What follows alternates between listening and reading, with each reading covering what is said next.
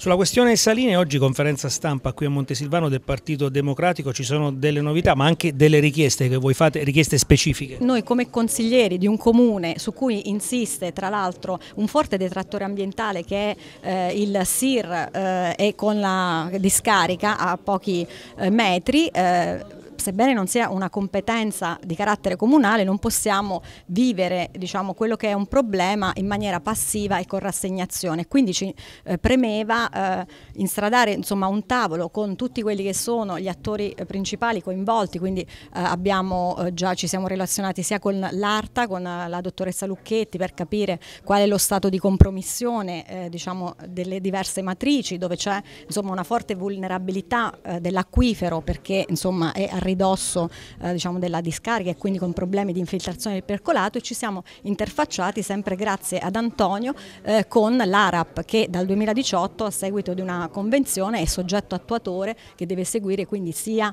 eh, quelle che eh, sono le mh, mm, procedure tecniche ma anche amministrative. E, e ci preme proprio la scadenza tra l'altro da convenzione che al 2021 che si può dire che domani devono quindi scattare quelli che sono gli obblighi giuridicamente vincolanti con eh, le, le, ditte che saranno appaltatrici di questa, insomma, eh, per a, a mettere in pratica le misure di salvaguardia, le mise, quelle cosiddette misure di eh, sicurezza. La, tra l'altro eh, anche la nota eh, della regione sottolinea, in cui eh, tra l'altro rimette, riaggiorna quelle che sono le linee guide da seguire per le procedure di analisi ambientale, fa proprio presente che sebbene sia una cifra importante, 10 milioni sono però insufficienti rispetto a quello che si dovrà fare, tra l'altro nella perimetrazione, nella nuova perimetrazione è anche eh, contemplata la parte diciamo, di ehm, Moscufo e anche Città Sant'Angelo e quindi è bene eh, dare, incalzare